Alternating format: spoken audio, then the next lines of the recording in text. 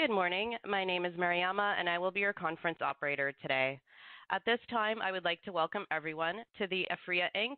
Q3 quarterly investors call. All lines have been placed on mute to prevent any background noise. After the speaker's remarks, there will be a question and answer session for analysts and/or investor firms only. If you would like to ask a question during this time, simply press star then the number one on your telephone keypad. If you would like to withdraw your question, please press the pound key. Thank you. Mr. Carl Merton, you may begin the conference.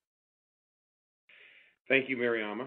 Good morning, everyone, and thank you for joining us to discuss Aphria Inc.'s financial results for the third quarter ended February 28th, 2021.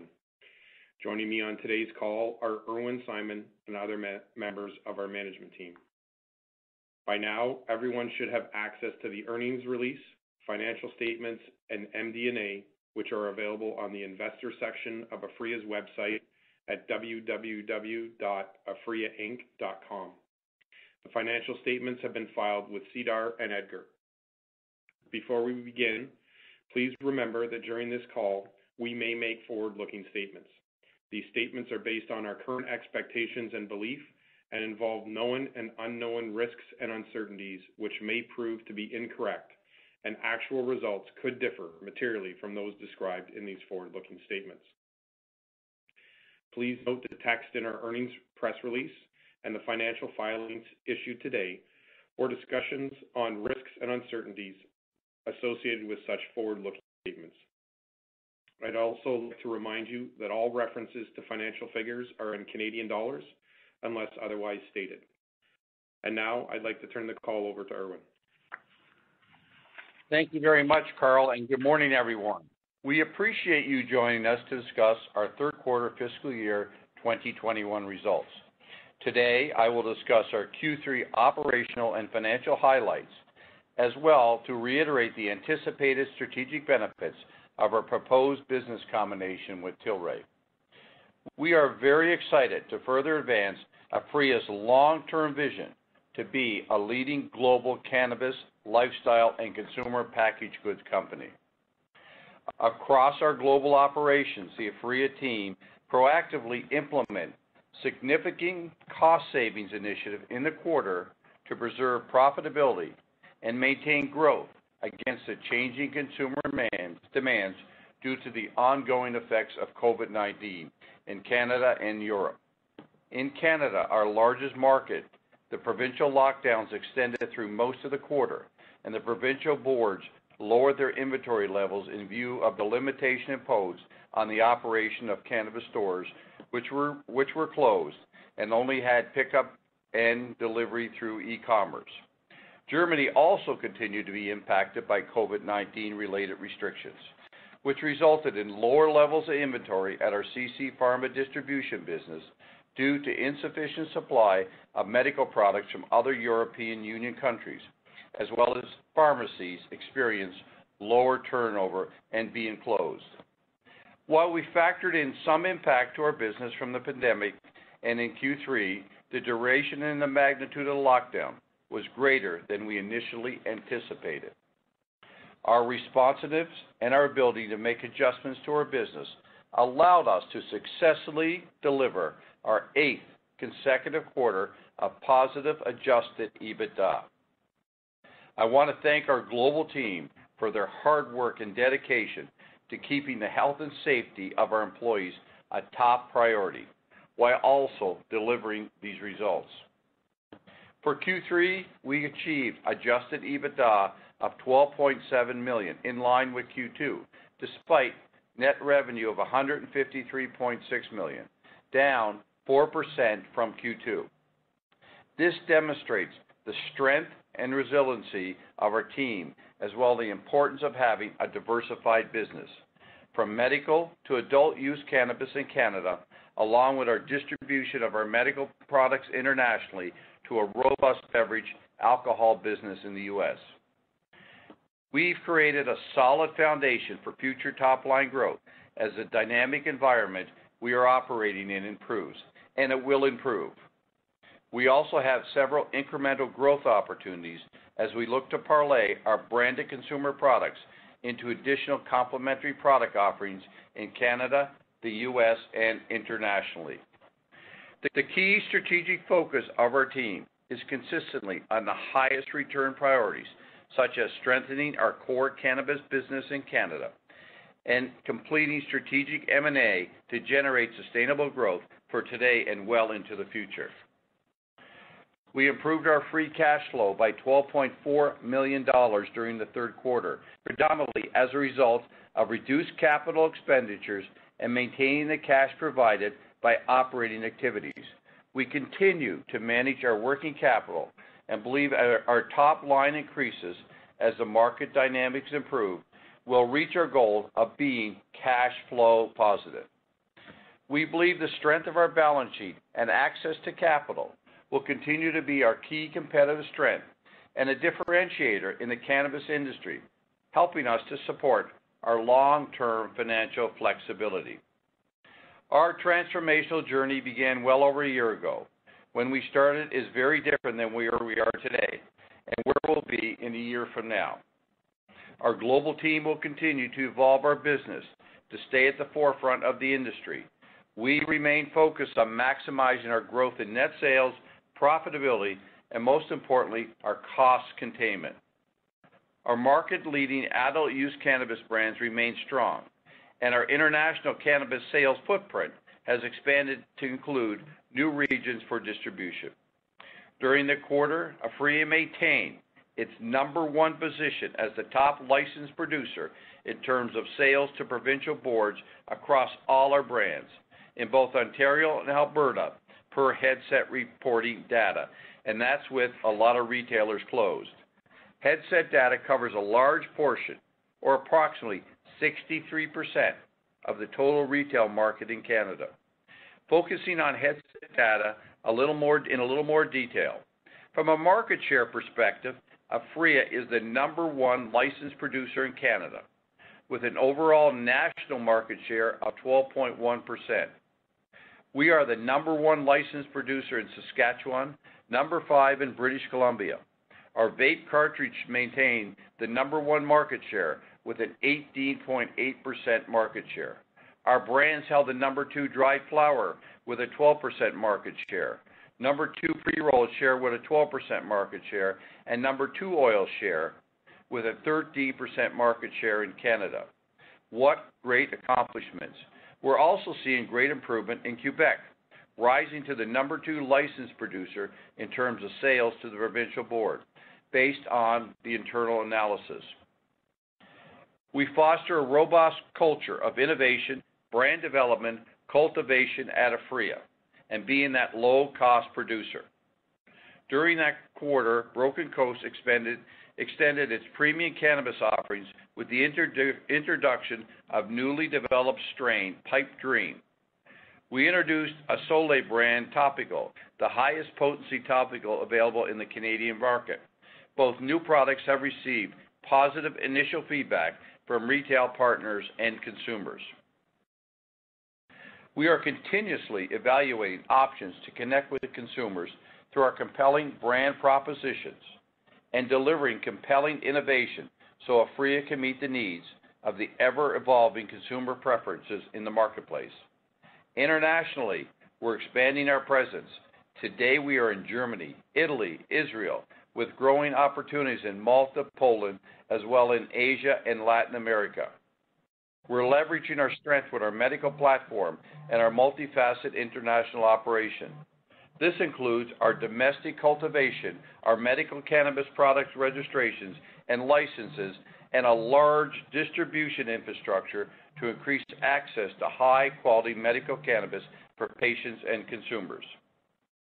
There are more than 600 million people across the EU, representing a tremendous opportunity for long-term growth, both in medical and recreational when legalization happens. We expect to continue to see growth in our distribution of medical cannabis and CBD offerings across the region. Importantly, we're also recognizing ourselves to quickly benefit from changes in EU legalization and other countries that are allowing medical cannabis. As many of you know, for 30 years, myself and a lot of my team members have led a CPG company along with other key members under our leadership. We led the CPG company to over a $3.5 billion business on a global basis. We believe we have a proven track record to build consumer brands within Aphria that will help with that we understand government relations, local preferences to grow our international business and our local businesses. In addition, we believe our key learnings from operating in Canada will help us with the EU and the U.S. market once legalization happens. At Aphria, we foster a strong ability to innovate across cannabis forms with brands that resonate from a premium offer. We expect the success to be a key differentiator and our assets for future international and Canadian growth. We're excited about the long-term potential to grow internationally in our core Canadian business. As a company that's a purpose-driven company, we take great pride in leading with our core values, are committed to changing people's lives for better by investing in our products, our brands, and our people, and of course, the most important, our planet. Focusing on Q3 represented our first full quarter contribution from SweetWater, and what a great brand. They contribute 14.8 million in net revenue and $5 million in adjusted EBITDA for the quarter, and that's still with most of the bars closed. Post Q3, the month of March, we're pleased to report SweetWater experienced a large rebound, with on-premise sales up approximately 35% compared to the prior year when the U.S. first went into a national lockdown. SweetWater recently launched Hazy, an IPA, a year-round brew, and is already the number one new craft brew item in the Southeast, number six nationwide, according to IRI data. Hazy IPA growth is being fueled by millennials, an important demographic in our business. The traction and growth in the new offering is just a few months into which we speak to, and which we speak in regards to the strength of SweetWater's innovation and brand development. We've been working closely with the team at SweetWater. It's already been very productive, and initial opportunities are coming to life as we collaborate to average Aphria's cannabis brands in the U.S. through new beverage offerings. This will provide valuable brand awareness, brand-building opportunities with consumers ahead of potential federal cannabis legalization. SweetWater provides a robust, profitable platform for future growth and development, and what a big opportunity in the beverage business. We're leveraging their innovation, manufacturing, marketing, and distribution infrastructure in the Southeast with and expansion opportunities all across the U.S. During the quarter, we also launched SweetWater beverages, including the 420 strain, statewide in Colorado, the first U.S. state to legalize adult-use cannabis. This is a great place for us to potentially start offering Aphria cannabis-branded beverages in the future to start to build out our brand awareness and cannabis lifestyle consumers. Our team at Aphria understands the importance of brand equity and selling good quality, safe products. In the U.S., more and more states are legalizing both medical and adult-use cannabis, with recent developments being in New York and New Jersey. In the last four months, five states have legalized adult-use marijuana, meaning now 30% of the country allows its adult residents to possess and use cannabis. As of April 7th, 15 states and Washington, D.C., have legalized adult use, and 36 states have legalized medical cannabis through voter ballot initiatives or state bills. At least two more states are poised to be added to that list following the passage of cannabis legalization this year. The national trend is indicative on a shift of Americans' perspective on cannabis. As we continue to advance our long-term vision and growth objectives, the addition of SweetWater is a cornerstone with our U.S. strategy and strong complement to our existing Aphria business, and we believe it will continue to be compelling financially for us. To further advance our vision and strategic growth objectives, we believe the addition of SweetWater and other pending business combinations in the U.S. in both consumer products and CBD products that can parlay into future THC and cannabis products will help us widen the gap between us, our peers, positioning us well ahead of the competition. I urge Aphria shareholders and Tilray stockholders to vote for the business combination. On a combined basis, I mentioned many times before, there are many benefits of both of these companies coming together. I can't stress enough, please get out there and vote if you've not done so. From a global operations perspective, we remain committed to Latin America and seek to develop our business in Asia, where we've already sold in our first CBD products. We have a tremendous runway for growth and proven global teams with a track record of success. In the U.S., we plan to leverage our strong sales and distribution network. This includes leveraging SweetWater's existing relationships with the addition of Tilray's CBD wellness brand, Manitoba Harvest, a pioneer in their industry. We look to build upon our existing distribution partnership in the U.S. and international. Keep in mind, SweetWater and Manitoba Harvest provides us with thousands of distribution points for our products across natural, mass, club, and grocery channels. SweetWater is also available in restaurants and bars, which will allow us one day to sell into cannabis cafes. We believe this will give us a tremendous head start to access these retail and food outlets with our craft beer as well as our CBD hemp product offerings. And we can do this on a national scale in the U.S. as well for our cannabis offerings when federal legalization happens. In summary, we are pleased with our ability to contain our costs globally and report positive EBITDA for Q3 in a difficult, and I mean difficult, operating environment, but that will pass too. I am proud of all our employees and their contribution to further Aphria's vision, especially during COVID-19. I'd like to thank every one of them. I'd also like to thank our board for their contribution.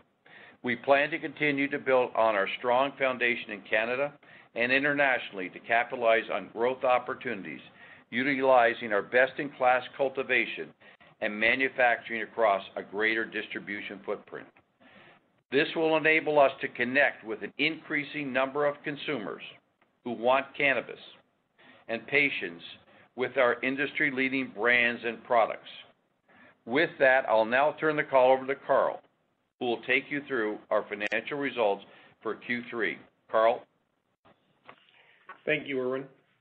Today, I will reference our adjusted financial results unless noted otherwise. Please refer to our press release issued today for a reconciliation of our reported financial results under IFRS to the non-GAAP financial measures identified during our call.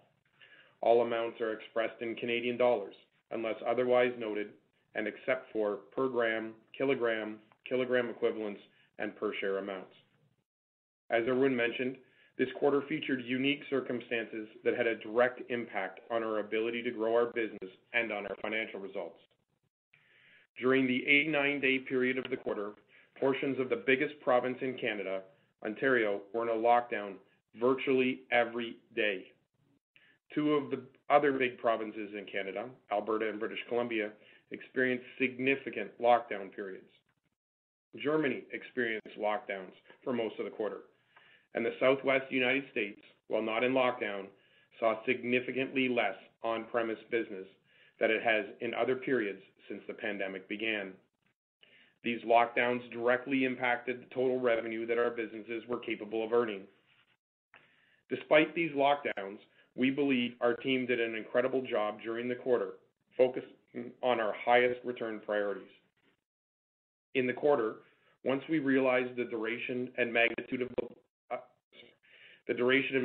lockdowns were going to be greater than we initially anticipated, particularly in Canada, we responded quickly and implemented meaningful changes to our operations to align with demand and reduce costs in this dynamic operating environment. These changes resulted in significant cost savings. These savings went a long way to help us generate our eighth consecutive quarter of positive adjusted EBITDA. We are very pleased with this result and expect a portion of these savings to continue in future quarters. While a majority of them will ramp back up as demand increases, the provinces are fully open for business. our ability to achieve 12.7 million dollars of adjusted EBITDA this quarter demonstrates the agility of our team and operations, despite our net revenue of 153.6 million being down 4.3% from the prior quarter. A few weeks after the quarter ended, we were optimistic that the prospect of lockdowns was ending and anticipated demand might be returning to pre-lockdown levels shortly. This coincided with on-premise business at SweetWater increasing by 35% from March in the prior year, a very positive sign. But as Canada continues to struggle with COVID-19 infection rates, Ontario recently returned to a full lockdown for at least four weeks. Alberta and British Columbia continue to experience all-time highs in infection rates and could return to lockdown. And just last week, Germany implemented a 14-day hard lockdown. A return to lockdowns presents a very short-term headwind on revenue growth. But as we displayed this quarter, even in the face of lockdowns, our management team is hyper-focused managing our business through such headwinds and on maintaining profitability. This quarter represented our first full quarter of SweetWater results.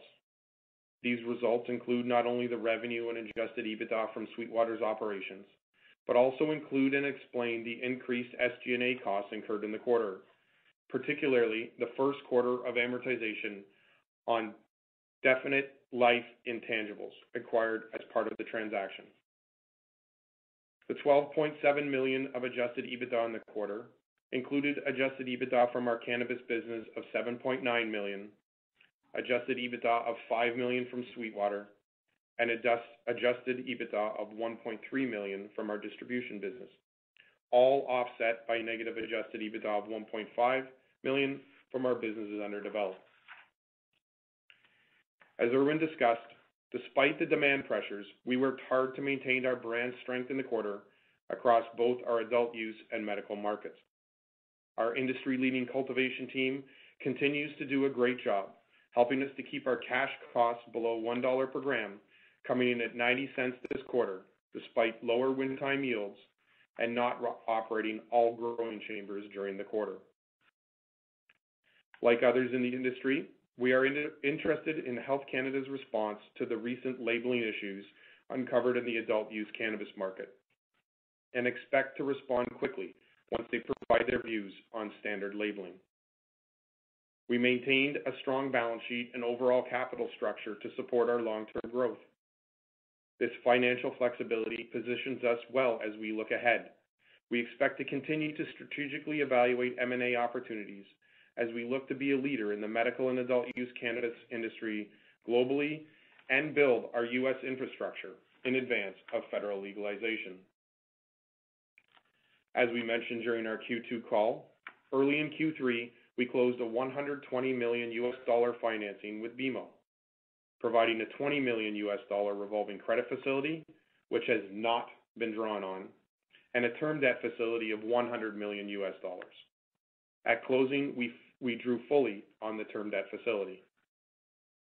From a key free cash flow perspective, our 12.4 million dollar improvement was not enough to achieve our previously stated goal of being free cash flow positive in Q3, largely because of the revenue impact associated with the COVID-19 lockdowns. Across our global team, we continue to emphasize initiatives that prioritize Aphria's profitability, not only for today, but well into the future. In Q3, CC Pharma's distribution revenue was down slightly from the prior quarter based on lower levels of inventory due to insufficient supply of medical products from other European countries, as well as pharmacies experiencing lower turnover due to COVID-19 restrictions.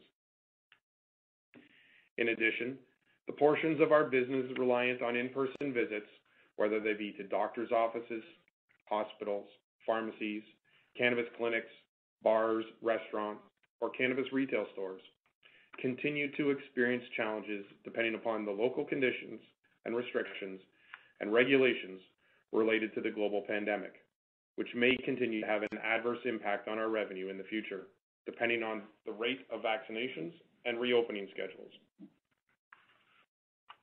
Our supply chain team continues to work closely with our supply chain partners on a day-to-day basis to prevent and minimize any sort of disruption associated with COVID-19.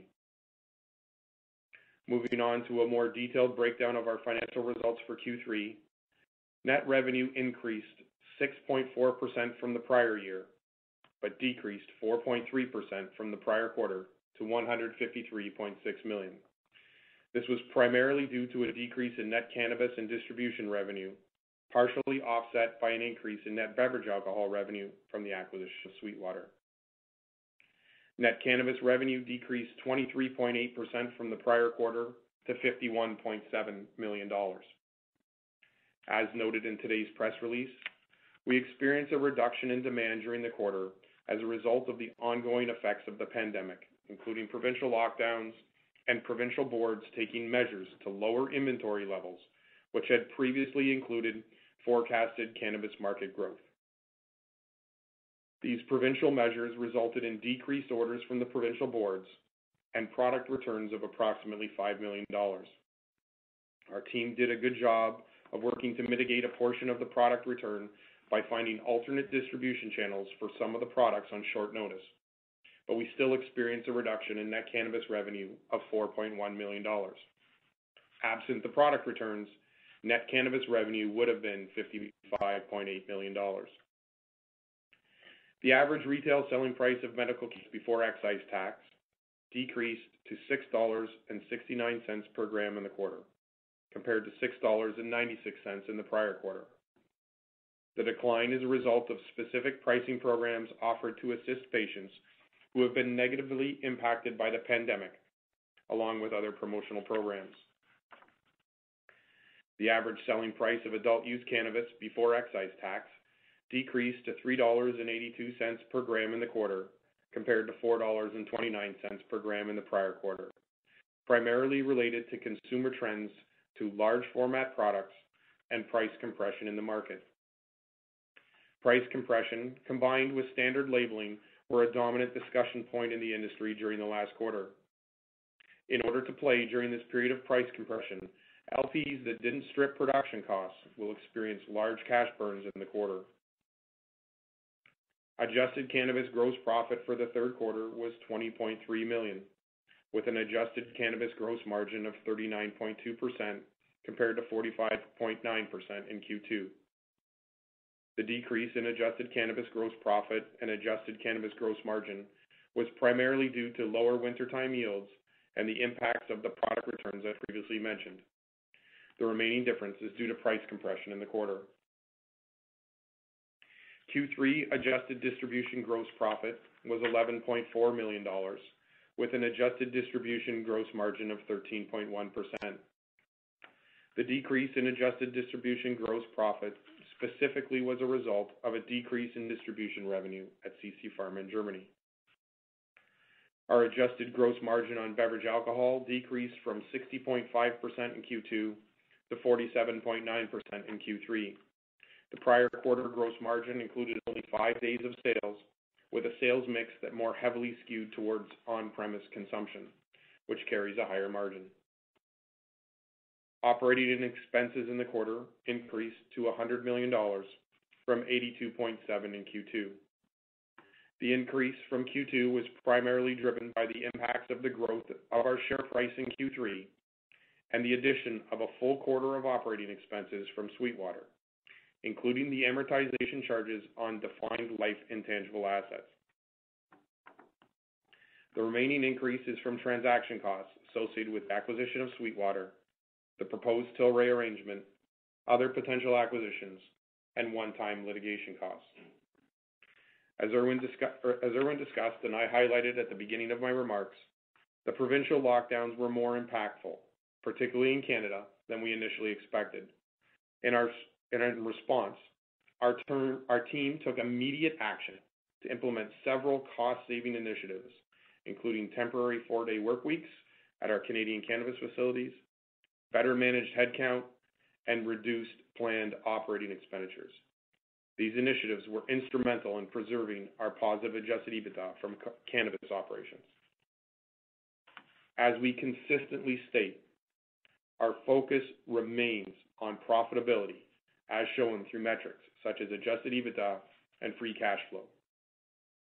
As I mentioned, from a liquidity perspective, our working capital improvement efforts, including maintaining at the same levels for the last two quarters our investment in inventory and our reduction in capital expenditures, resulted in an improvement in free cash flow of 12.4 million in the quarter, recording a free cash flow loss of only 3.9 million dollars. Similar to Q2, we continued to work to lower our quarterly working capital requirements, succeeding in the current quarter by reporting positive operating cash flow or cash provided by operations of 1.2 million dollars. And we continue to work to be free cash flow positive, all subject to the intensity of COVID-19 restrictions in the markets where we operate. We believe this free cash flow, when combined with our existing cash position and strong balance sheet, will support our growth initiatives in both Canada and internationally. In summary, we are pleased with the agility of our global team. They reacted quickly with decisive actions to maintain our adjusted EBITDA, responding to changing industry dynamics. As we move ahead, we believe our strong cash position will continue to help us navigate through this COVID-19 global pandemic as we succeed in reaching more consumers and patients with our high-quality leading brands and products. Aphria is better positioned than ever before in Canada, the U.S., Europe, and Latin America for continued growth and development, all as Irwin already highlighted in detail. We are ready for future potential cannabis legalization in the U.S. and Europe with a proven global team to execute on our strategic growth initiatives. In closing, we are excited about our upcoming special meeting of shareholders to vote to approve the proposed Aphria-Tilray business combination. As a shareholder, I voted for the resolution to approve the arrangement. We urge Aphria shareholders and Tilray stockholders, as of the record date, to equally vote for the resolution to approve the arrangement. As we move forward, we expect to become an even stronger, more diversified, and profitable company. We maintain tremendous confidence in our ability to create long-term sustainable shareholder value for many years to come. This concludes our prepared remarks. Irwin and I are now available for analyst questions. Back to you, Mariama. Thank you. As a reminder, to ask a question, you will need to press star one on your telephone. To withdraw your question, press the pound or hash key. Please stand by while we compile the Q&A roster. Carl, you got to shorten.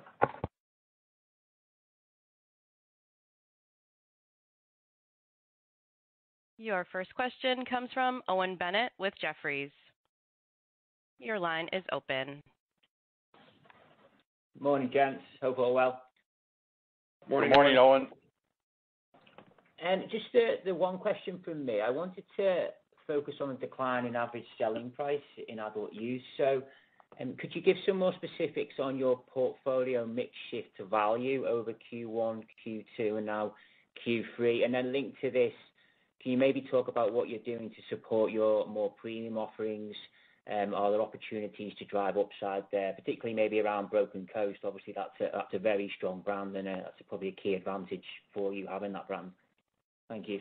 So, Owen, two things. I'll answer the first part, and I'll let Carl.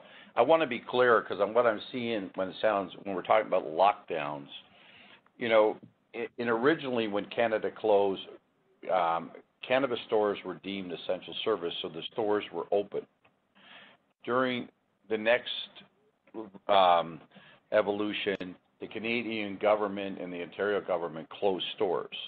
So you couldn't go to a store. You either had curbside pickup or e-commerce. And each retailer saw about 25% decline, um, and some up to 30%. So the stores were closed. And that's the difference, and I know we've been getting some questions in regards to, well, weren't we locked down before? So that's number one. Um, number two, in regards to Broken Coast, as you heard me talk about, and I've had many conversations, um, there's been really no price adjustment on Broken Coast. It continues to be our premium brand. Owen, I have talked to a lot of the control boards. Nobody wants to see price compression. I think some of the price compression was moving inventory, um, trying to get consumers to come to to the stores or order online, and that's the way, you know, that ultimately what was happening from a market standpoint. Um, I think once we get back to normal, we will see, you know, innovation out there in regards to, you know, different potencies of products. I think you'll see innovation in regards to different vape, different pre-rolls and demand. Um so I come back and say price compression, you know, is because of what's happening out there to try and get consumers to come and shop. But on the other hand, I see great things happening with Broken Coast, and we have every bit of intention of how to maintain that premium product. Carl, you wanna just go ahead and talk about? Yeah. So just just to add to that, um, I'll start with Broken Coast. Uh, Owen, I think there's some there's some very interesting things that have been going on there in the last quarter in terms of uh, potency increases and the new products. Uh, Irwin talked in his script about Pipe Dream.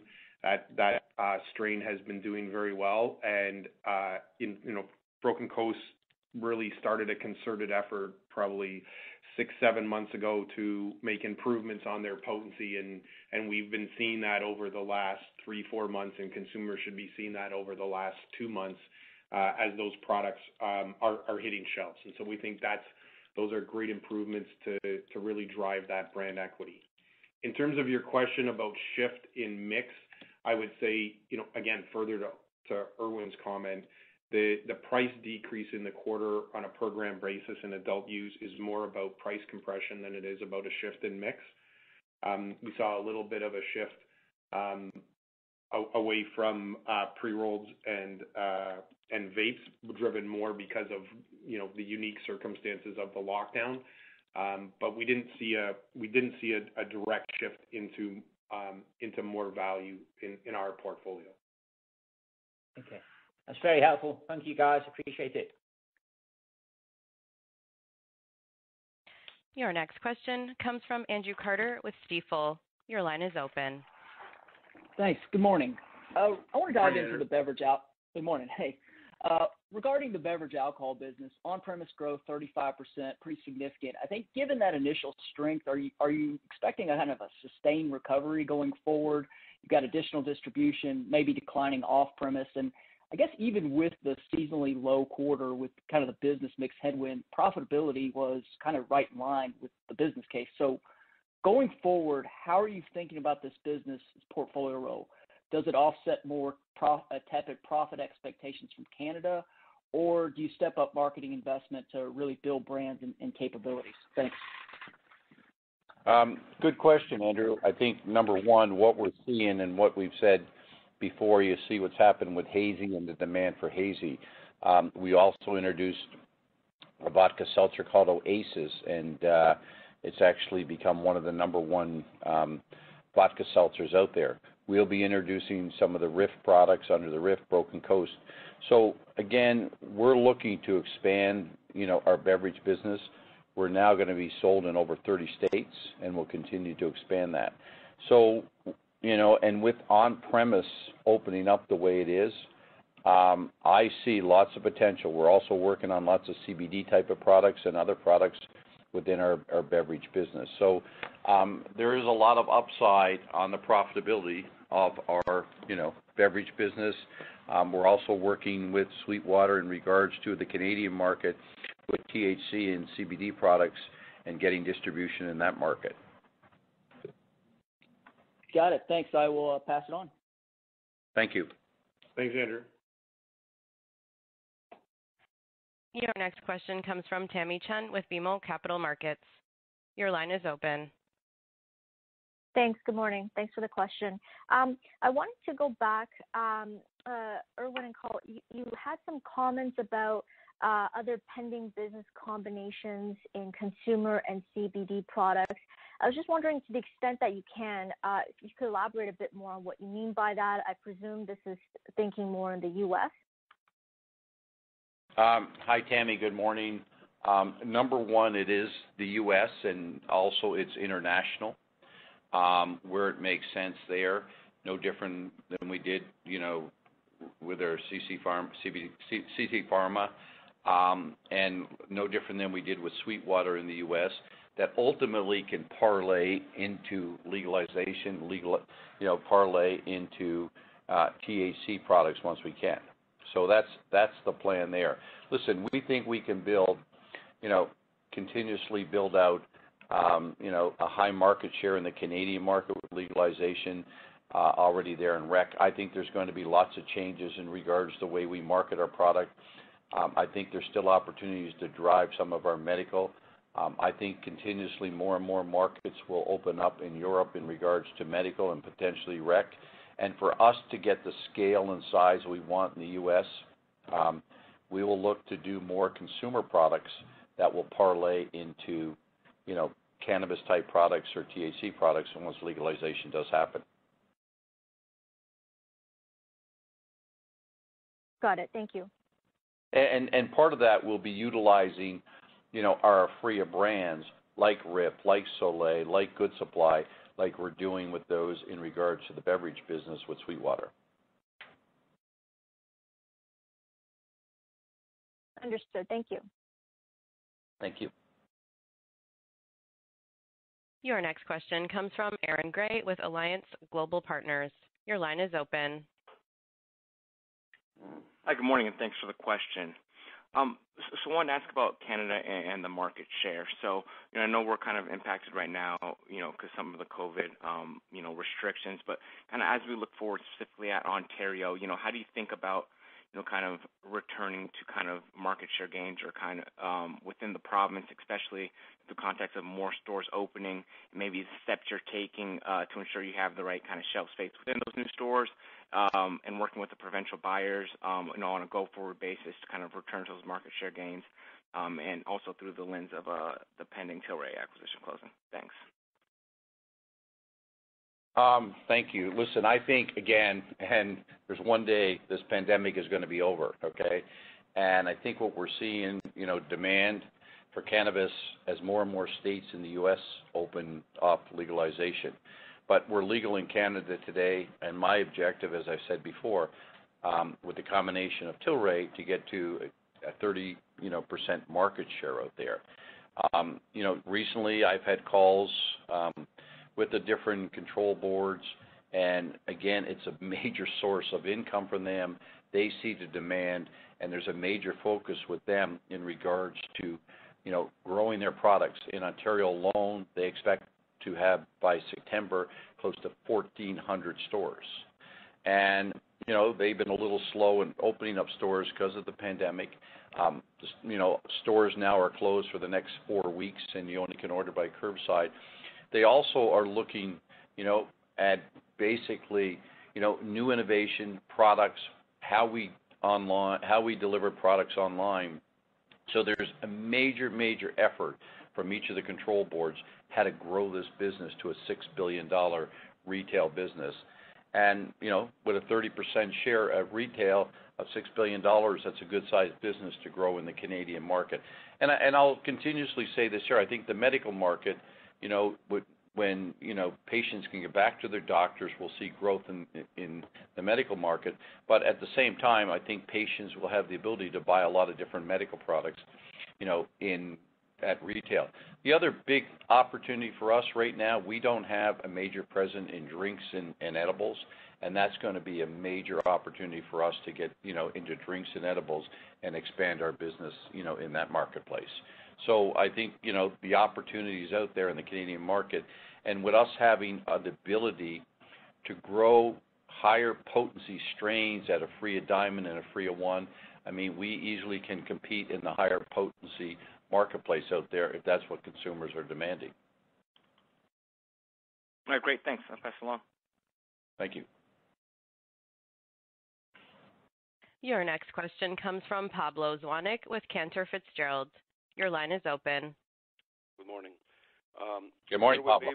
Maybe um, you know a question for those um, shareholders that are still on the fence uh, regarding the vote, and I don't know if you want to comment. Maybe the percentage of people that are on the fence is very small. But a two-part question. First, um, you know, discuss international markets. You know, we've seen Curaleaf by EMMAC. We've seen other transactions. A number of companies talking about making, even Canadian ones, mid-size, talking about making inroads in Europe. So taking a medium, longer term view, just a reminder of how Tilray and Aphria together are stronger in Europe. Um, and the second question, which is part of the same topic, is on the subject of the need for scale in the Canadian market, right? The way I look at the numbers, there's a lot of uh, small, mid-sized companies that seem to be doing well, uh, quite well actually, uh, developing niches, growing in certain formats. You saw 7ACRES, right, become number one in premium. Um, so, you know, there's a question mark about the need for scale in the in the domestic market when some mid-size, smaller guys seem to be doing quite well. Thank you. So number one, as I've said before, Pablo, you know, I recommend if you haven't got out to vote your shares, please do so. Um, you know, so far we've had great turnouts in regards to that, and uh, you know, close to 98% of the Aphria shareholders that I've got out there you know, have voted in favor of the deal. And I think that's what's important, is investors are seeing the value of this deal, both on the Aphria side and the Tilray side. I think it just making sure investors get out there and vote, as we're living in a world today of somewhat shareholders not going out to vote. And I can't stress enough how important it is to get out there and vote. Um, I come back and say this here, Pablo, we started a trend when we announced this deal in December, and you saw the deals and the consolidations that have happened you know, after that. And I think with that, you know, as I've said before, having a 30% share and being that low-cost producer. Now, again, being a small player, yes, you know, they're doing quite well, but what's quite well on a scale and size? I mean, this is our eighth quarter of EBITDA profitability. We have 265,000 you know, thousand kilograms of ability to grow at low cost. And with that, I think, again, if you're going to scale this up, you got to have grow, you got to have products, you got to have the ability to market the products. And that's something that Aphria has. You got to be able to put you know, boots on the street to sell into the bud masters. Once the world gets back to normal, a lot will change out there, and a lot will change how we sell our products at brick and mortar, how it's sold online, how you innovate, and ultimately, the importance too, is what we're seeing is consumers want higher potency products, want differentiation, and that's something that Aphria will be able to do. With a strong balance sheet, you know, we'll be able to invest in those brands, and I think there's got to be some changes in the Canadian market and the way you advertise to consumers, and I think that's important. In regards to Europe, you know, with our current facility in Germany, with our CC Pharma, and with the addition of the great facility that Tilray has in Portugal, you know, we're well ahead of the marketplace. And to start from scratch there today is a two, three, four-year build-out at a very very costly CapEx to go ahead and do that. So with the combination of Aphria and Tilray, I'm still even more convinced as I spent more and more time on this over the last three months, why this makes sense, why this prepares us for the U.S. I think you know, there's ultimately there will be legalization in the U.S., but I think there's going to be opportunities for Canadian LPs to do a lot in the U.S. once that happens. So I go back to your first question. Hopefully, everybody gets out there and votes that's a shareholder today, and hopefully, you know, we'll come back and show you all the benefits, which I've said you know, multiple times, the combination of a free and Tilray together. Thank you. Thank you. Your next question comes from John Zamparo with CIBC. Your line is open. Thank you. Good morning. Morning, John. Morning, John. Uh, I wanted to ask about uh, free cash flow, um, and in two parts, both uh, on SG&A and CapEx. The cost savings initiatives um, that you're referring to, when did you implement these in the quarter, and should we consider these temporary Uh, as sales growth is limited, or do you view them as more sustainable? And then uh, the CapEx number in the corner is uh in the quarter, is that also uh, likely a sustainable number moving forward? Thanks. So John, in terms of um, the CapEx, we do believe that's a sustainable number going forward. You know, it likely has some room to come down a little bit in various periods. Um, You know, in terms of the incremental SG&A, as we talked about in the in the conference call and in the MD&A, a big chunk of that number is tied to share-based compensation, which is which is being dri which was driven by the increase in our share price in the quarter. A big chunk of that increase was was driven by introducing SweetWater's um, SG&A into our uh, income statement for, you know, 89 days as opposed to five days in the previous quarter. Um, you know, and including a a you know, a big part of that number is just the amortization required um, on some of the intangibles that we that we purchased as part of the transaction. Okay. Maybe I could just follow up on that. I'm referring specifically to the to the cost-cutting efforts, though. Um, and it looks like it was mostly through through the Aphria SG&A line, uh, in particular on either headcount or salary. I'm just looking for clarity there. Sorry, John. It's not one time. It's not that we cut them and then we're going back to normal. These are costs that have been, you know, dealt with and taken out of taken out of our business and will continue on. And and you can see them in the G&A line, John, when you normalize out the bringing in of SweetWater. Okay, understood. That's very helpful. Thank you. Okay. There's a paragraph on it in the MD&A.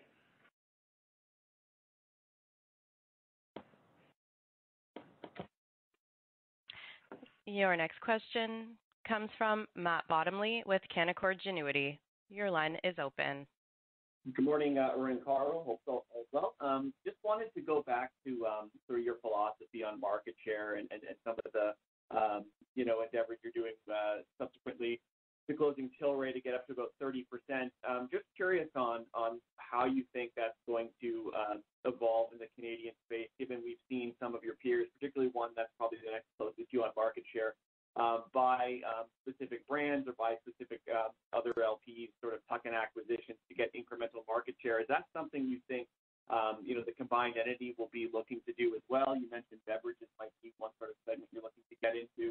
Um or do you think there's not really a lot of terminal value yet for a lot of these brands, given the fact that, you know, from my perspective, when I walk into a lot of these dispensaries, if you're sort of brand agnostic, it's still a pretty um, rough environment there to actually glean, you know, which LP is what and what the product offerings are. It's pretty, um, there's a lot of, uh, I think progression still there. So just curious on you think if M&A is is part of the strategy in order to build up that market share, or do you think you can build from the ground up, you know, pro forma with the Tilray acquisition based on what you guys already have in the pipe? Good question. Um, and I and I think you said it when you walk into stores, you know, do brands mean anything? What's gonna be important is it's not so much brands between, you know, Tilray and Aphria, we'll have over 12 brands out there. I think what's gonna be important is quality in regards to, you know, the product itself, the potency of the product, um, somewhat on pricing of the product, um, educating consumers on the regulatory and the quality of the products. And I think that's what's ultimately going to be important. The other big thing is this here is, you know, having boots on the street once they get into stores, um, to make sure they have a great representation of our products.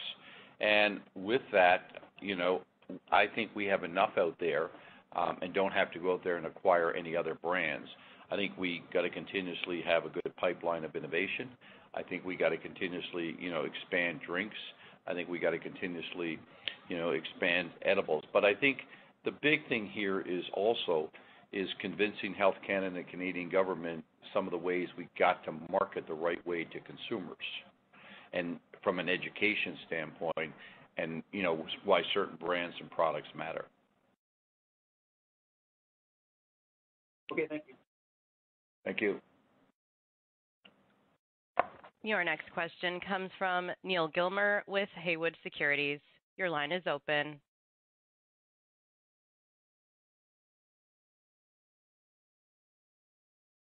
Hello? Neal. I'm not sure he's there, operator. Yeah. I think we just should just go to the next call. Okay. Your next question comes from Michael Lavery with Piper Sandler. Your line is open. Good morning. Thank you. Um, just curious if you could give an update on the current quarter and maybe what you're seeing uh, from the consumer. Uh, you mentioned there's still four more weeks to go in Canada with store closures.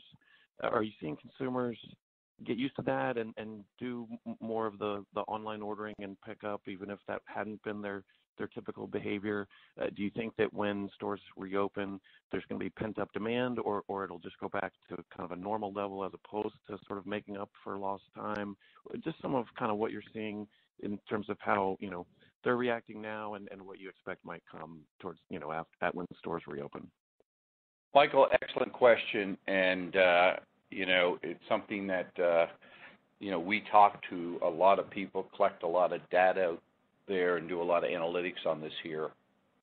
So with that, the good news is hopefully more people, even though you're on, and I hate the word lockdown, but again, you know, you, Toronto or Ontario is closed down from a province standpoint. Um, with nice weather, people want to get out. People want to get out and you know enjoy some recreational cannabis. People, you know, c- consumers will go stand in line and pick up at store, at curbside, or will order online. So I think the good news is, as we head into you know, a warmer weather, it will help business. Um, again, now consumers are used to going to curbside and ordering online, where this was all something new that just happened you know, in December, January, because before stores were open.